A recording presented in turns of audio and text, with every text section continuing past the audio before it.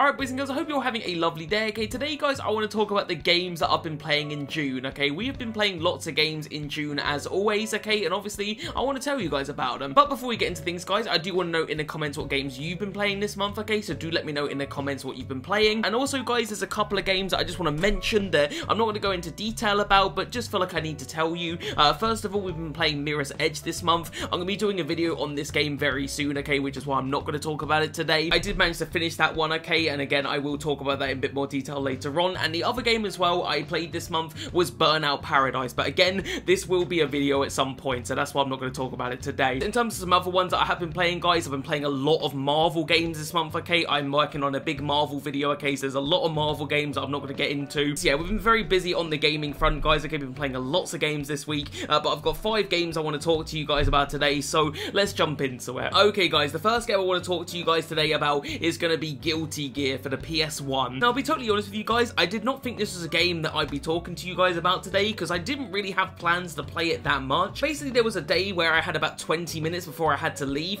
and I didn't know what to do for that 20 minutes, so I thought, you know what, let me just put this on because I've had it in my collection for quite a while and I, I just thought I'd play it. I have played it before, but I didn't really give it much of a chance. I played a little bit of it and I just did, it just didn't really click with me. I just wasn't really loving it. I'm not like super good at fighting games. I really love Tekken, but yeah, I'm pretty ass at every other like fighting game. Dude, you're not even doing it right. You're just mashing the buttons. So I did play this game before and I didn't love it that much, but I thought, you know what, I've got 20 minutes, let's give it another chance. But within those 20 minutes, guys, I really had fun with it. Like, I honestly was having a really good time with it, so I decided to play it a bit more, you know, and I kept playing it, kept playing it, and I ended up spending a good few hours playing this one. Again, lads, I'm not like super good at fighting games, I'm pretty freaking terrible, but yeah, I really invested a good amount of time trying to learn some, some combos and stuff like that, and I wouldn't say I got good at it, but, you know, I was at least somewhat, like, somewhat competent at it, you know? I knew that the controls to an extent, and I could do a few things with certain characters. One of the things I did invest a lot of time learning in this game, guys, is there's like an instant kill thing you can do in this game where you have to like press certain buttons, and I can't exactly remember how you do it now, but you basically press certain buttons in a certain way, and you can instant kill your opponent. And that's not just a first round either, you win both rounds if you do this thing. It's, it's really cool. I probably spent a good few hours trying to perfect that move, okay, and I got pretty good at it, you know, I could do it really and I had no problems doing it because I practiced on it so much. With that said though, guys, it ended up being a little bit meaningless, okay, because even though I spent all this time learning this mechanic,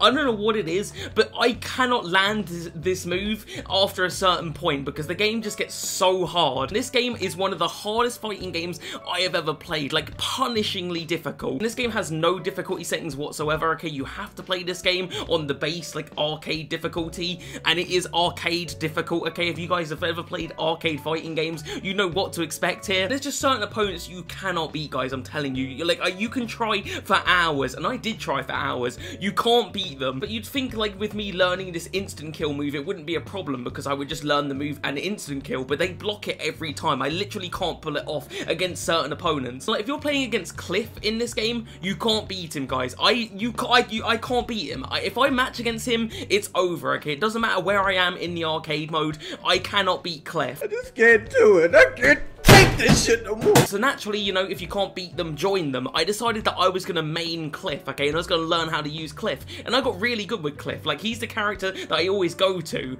But then you get to the final boss, okay, and the final boss is borderline impossible. I played this game for lots of hours, guys. I beat the final boss once. Just one time, and that was it. And I honestly couldn't believe it, guys. When I beat it, I was cheering. That's how fucking hard the final boss is. It is borderline impossible, I'm telling you. If you guys are good at fighting games, pick this game up and play it, okay? Because it will test you. But me, I just couldn't take it anymore, guys. I practice and practice and practice, and I just couldn't do it. Like, I just couldn't get good at this game. And it's a shame too, because I really love the art style here, guys, okay? That's what drew me to this game, was that incredible 2D art style. I, I adore the way this game looks. But for the life of me, guys, I just couldn't get good at it, okay? I tried, but it didn't, it didn't work out, unfortunately. But still, I did have fun with it, okay? I pumped in a lot of hours into this game, had a good time with it, but I think I think I had to throw in the towel with this. I, I might come back to it, but probably not because it's so hard. Okay, guys, the next game I want to talk to you guys about is going to be Streets of Rage for the Sega Mega Drive. Okay, guys, if you follow the channel, you know that I picked this game up pretty recently. I obviously picked up the Mega Drive, and this was like the first game I bought for it. In fact,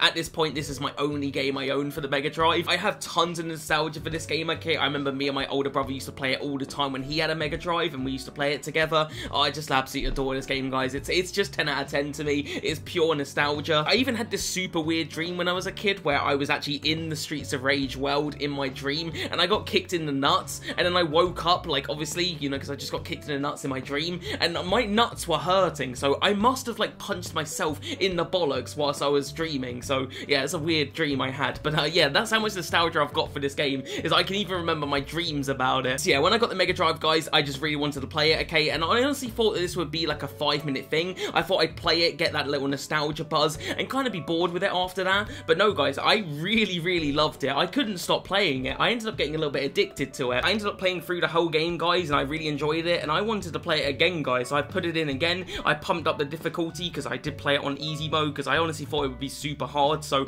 yeah, I started on easy mode, but I moved it up to normal. I ended up playing through it on normal mode, no problem, and I really enjoyed that, and then I even tried it on hard mode in my, like, games I played for an entire day video. If you guys saw that video, you know that I played this game.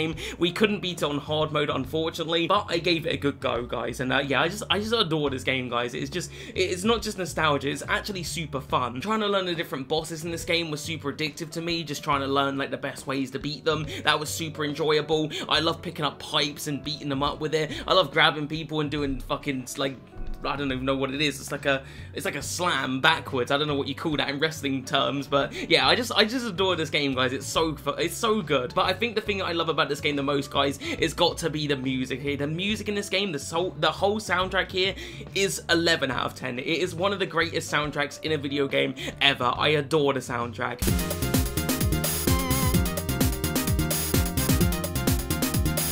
If you somehow have never played Streets of Rage, guys, please play it, okay? It is genuinely one of the most iconic games of all time, and I'm definitely cannot wait to get Streets of Rage 2, because I'm going to play the crap out of it. Alright, boys, next up, I want to talk to you guys about Dead Space Extraction for the Nintendo Wii. Okay, guys, so I picked this game up pretty recently. I actually found it in a charity shop, so I was, like, really excited about that, because this is the only Dead Space game that I don't own. It is a game I have actually played before, but this was on the PS3, because uh, basically, if you had Dead Space 2 Limited Edition, if you put that game in in, it would uh, give you the option to play Dead Space Extraction for some reason. It was like two games in one. So I did play through this game back in the day when I had Dead Space 2, but I played it on the PS3, guys, with like the PS3 controller. And if you don't know, this is like a light gun game, and really, you need to be playing it with like a motion controller. I think like when you play it on PS3, you, you really ought to have the PlayStation Move, but I obviously didn't have one of those. So yeah, I was playing it with a controller, it just wasn't quite the same. So when I picked this game up for the Wii, guys, I was super excited to play it again, because obviously, again, it's a light gun shooter, so I want to be able to aim with the with the motion. Not to mention the fact that it's been a really long time since I played it. I mean, I played this game when I was a teenager, so being able to play it again with the motion controls was super exciting. Yeah, I gotta say, guys, I really enjoyed this one, okay? I was actually quite surprised at how good it was, because obviously it's like a Dead Space spin-off on the Nintendo Wii. Like, naturally, you'd think it may be a little bit lazy, you know, maybe not as much effort gone into it, but no, guys, I'm telling you, this game is as good out, and like, at least on par with the Dead Space series, you know, this is not an inferior game in any way. I honestly think that this is a must-play for any Dead Space fans. I genuinely think it's that good. But yeah, the atmosphere in this game, lads, was absolutely fantastic. Okay, this game had that classic Dead Space atmosphere. I wouldn't call it scary necessarily, or at least I wasn't scared, but it's definitely got that dark, creepy atmosphere to it. Shooting in this game was super fun. There's like several different guns and they all feel really nice. I think my favorite has got to be the Ripper, which is like the, the chainsaw thing, and just being able to like move the Wii remote and move the uh, the Ripper blade, you know, through the different necromorphs. Awesome, just absolutely awesome gun. But I think the thing that surprised me the most about this game, guys, has got to be the story, okay? The story in this game is actually really good, and the characters here are really amazing, and I was quite surprised by that because I didn't expect it, honestly. So yeah, if you're a big Dead Space fan, guys, you should play this one, okay? Because not only is it a lot of fun, but the story and the characters were super good. So yeah, play it if you haven't already. Alright, boys, next up, let's talk about Catherine Full Body for the PS4. Alright, guys, so not gonna lie, this is a game that I have played before. This is not my first playthrough of this game. This is actually actually, I think it was my fourth playthrough of this game. I've beaten this game four times now. I've had this game for a very long time, okay, and it's easily one of my favorite games of all time, and I kind of just impulsively felt like playing it again. I was watching a YouTuber the other day, I can't even remember who it was now, but he was going through his PS3 collection and he picked out this game, and he was just saying how good it was, and it just made me want to play it again. I played the PS4 version, obviously, guys, because I don't even have the PS3 version. I did want it all, like, back in the day, but I was actually too scared to ask my mum for it. I was a teenager at the time, and I didn't really have my own money, really. I wasn't old enough to buy the game either, so basically, if I wanted to play the game, I would have had to have asked my mum, but the cover was just too, I don't know, out there for me to say, mum, can I have this game? Because I knew she'd look at me weird, like, why the fuck would you want that? And it would be too hard to explain. As no, I, I promise, like, and even even it's it, it was it's been a weird these past few months. But anyway, when this game came out for the PS4, I got it straight away, okay? And I just love this game. Like, every time I play it, I love it even more. And if you've never played this game before, guys, you've got no idea what it is. It's basically a puzzle game where you have to move these squares in order to reach the top. And they'll throw various obstacles in your way, and it's super addictive, hence why I've played it like four times. On top of all of that, guys, this game has a really weird and unique story, and it's one of those games that you probably shouldn't play if your parents are near you. You know that meme where you're watching something on TV and then your mum comes in the room at the exact point of where she shouldn't be in the room watching and it's super awkward? I mean, that's pretty much the entire game here. If you're playing this game and your mum walked in the room at any point, she'd look at you weirdly. But that's not to say it's bad, guys, okay? The story here might be a little bit weird and a little bit out there, but it's really good, honestly. And the characters here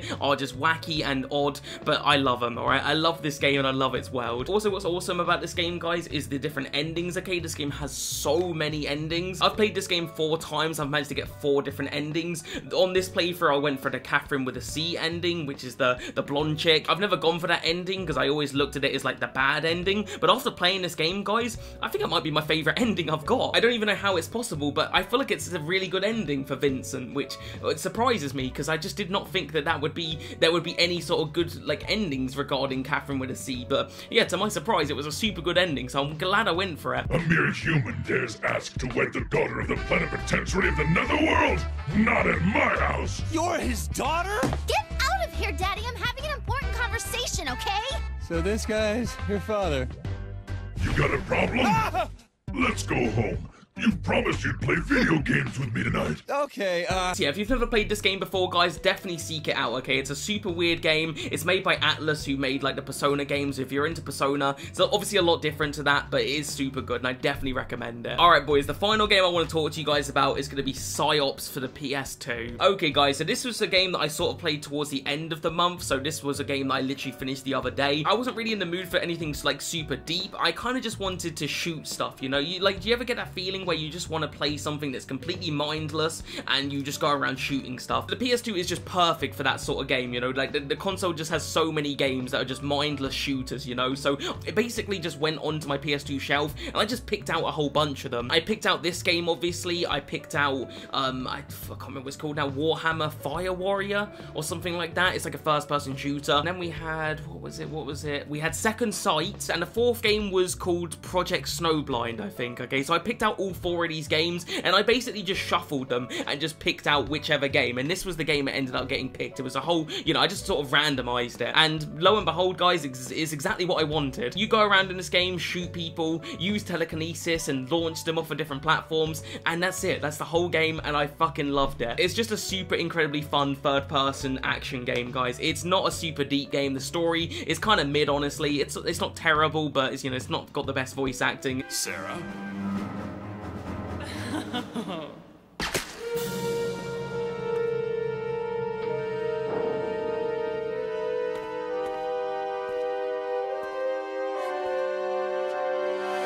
Mom always did like me best, bitch. Well, that was absolutely awful. But what you're in here for, boys, is that gameplay again. The gameplay just involves you going around and just messing people up, and it's super fun, alright? Telekinesis in this game is so fun. Not just like picking people up with telekinesis, that's super fun, but also being able to like mind control people in this game is super fun. You basically can like control other like enemies, you know, for a bit, so you can like hide behind cover, mind control them, and then you'll be controlling them, and then you'll shoot them, and uh, it's just super good, okay? It's it's amazing. A little bit after after that as well, guys, you end up be learning this like firepower, so you can set people on fire. This game just lets you fuck around, okay, with telekinesis and mind powers. It's super, super fun. With that said though, guys, the fun does unfortunately come to an end with this game around about sort of three quarters of the way through it, okay? The first three quarters of this game are just literally exactly what I wanted. It's mindless, it's fun, it's awesome, okay? But the, when you get to that last quarter of the game, it turns on you, okay? This game turns on you. The difficulty spike in this game is one of the worst I've ever seen, okay? Because the game is pretty easy, you know, like for most of the game, and then it just spikes at the end for some weird reason. And I, it went from just being one of the most fun PS2 games I've played to one of the worst experiences ever. The last quarter of this game was literally hell to play, guys, okay? It nearly ruined the entire experience for me. I, I nearly stopped playing it, but I obviously wanted to persevere and beat the game. But yeah, I was losing the will to live playing this last, like, few hours of the game. You're probably wondering what exactly was so annoying about this game, okay? And I'll tell you guys, okay? I'll tell you, okay? First of all, the game throws these annoying sort of mind aliens at you. I don't know what they are, but yeah, they're sort of these mind aliens. It's not that bad, but they're just annoying. Like, there's just a lot of them, and you can't really do the sort of things you can do on regular enemies. Like, with regular enemy enemies, you can just pick them up and throw them and stuff. With these guys, they're just, they come at you in bunches, and they're just super annoying. So that was the first thing, but that wasn't, like, that wasn't game-breakingly annoying, you know? I could live with that. The second thing, though, guys, was unforgivable, okay? So basically, you've got these enemies that have got, like, anti-psychosis armor, so you can't, like, pick them up with telekinesis, you can't mind control them, you can't use any telekinesis on them at all, except for the fire. The fire works on them, but that's it. And it's not super effective against them either. You pretty much have to shoot these guys, okay? They were annoying, but what's even more annoying is the ones that have got rocket launchers, okay? So you can't use telekinesis on them, and they've got rocket launchers. And these rocket launchers are so fucking irritating, because basically when you get shot with these rocket launchers, you ragdoll into the air at 100 miles per hour it's so annoying when it keeps happening, guys, I'm telling you, and it's just like, I was losing my shit with these rocket launcher guys, because there's just so many of them in the last parts of this game, and it doesn't stop. And if that's not enough, guys, if that's not enough to make you want to break your controller, you have these, like, mind, trip mine things that you can only see with a certain vision, um, and if you walk into them, just, you know, you'll just be walking around normally. If you walk into them, you fucking explode naturally, and it's honestly pretty hard to avoid them, especially when you are ragdolling in the air from these rocket launcher guys. It's just a whole clusterfuck and a whole recipe for making you want to break stuff, okay? And this last hour of this game was filled with this shit.